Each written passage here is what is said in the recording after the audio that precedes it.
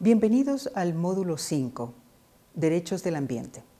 En este módulo vamos a transitar por el recorrido que ha hecho la humanidad y nuestro país en términos de los derechos ambientales, como la preocupación por la preservación, la conservación de los ecosistemas ha ido realmente trascendiendo las fronteras nacionales para convertirse en una preocupación global.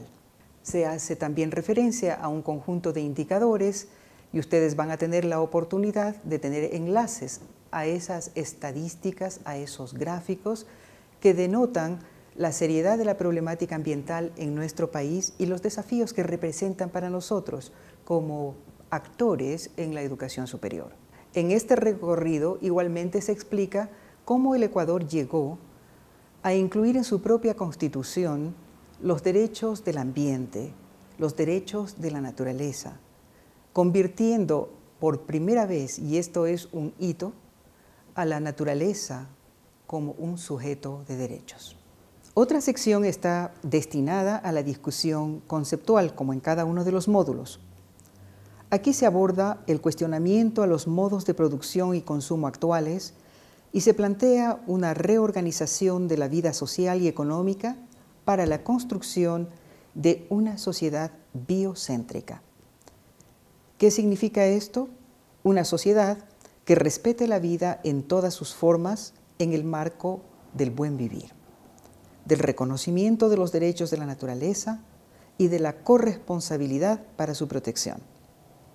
Las orientaciones generales incluyen propuestas para la educación superior que, entre otras, abarcan la cultura organizacional, la infraestructura, las prácticas institucionales, y los ámbitos de formación e investigación.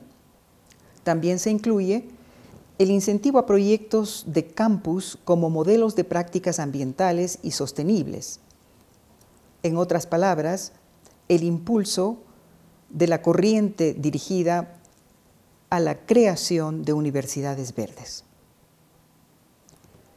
Otro punto que es sumamente importante en este enfoque general es desde la promoción de programas de vinculación con la comunidad que articulen a la vez investigaciones aplicadas, formación en términos de carreras necesarias para la preservación del ambiente, solución de problemas y concientización en la comunidad. Como en los casos anteriores, este módulo incluye también enlaces al documento en sus respectivas subsecciones y unidades así como entrevistas a algunos especialistas. En este caso, Jesús Ramos, catedrático del IAN y director del Centro de Estudios Prospectivos, es entrevistado y analiza las problemáticas relativas al cambio climático, la pérdida de la biodiversidad, el agua. Argumenta la importancia de la visión prospectiva para el país a fin de entender y enfrentar los problemas con un modelo de visión de carácter estratégico en busca de resultados sostenibles. Jesús nos ofrece ideas y experiencias importantes sobre los ámbitos de investigación, formación y vínculo comunitario en torno al eje ambiental. La segunda entrevista es a Marianela Hintach. Ella es una joven profesional orgullosamente indígena quien reflexiona sobre el hito histórico que representa el reconocimiento constitucional de los derechos de la madre naturaleza. Igualmente, nos propone la necesidad de hacerlo práctico.